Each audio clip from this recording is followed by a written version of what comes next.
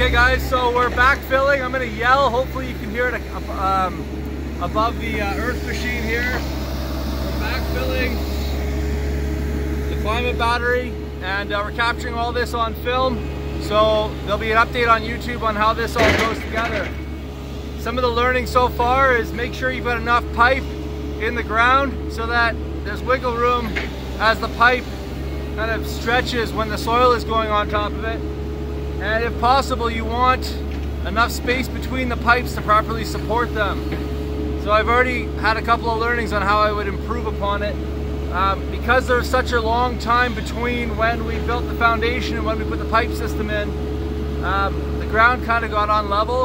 And so to do it again, I would make sure that we had a, a totally level surface and proper bed for the pipe so that it'd be a much smoother installation. But so far it's going pretty good.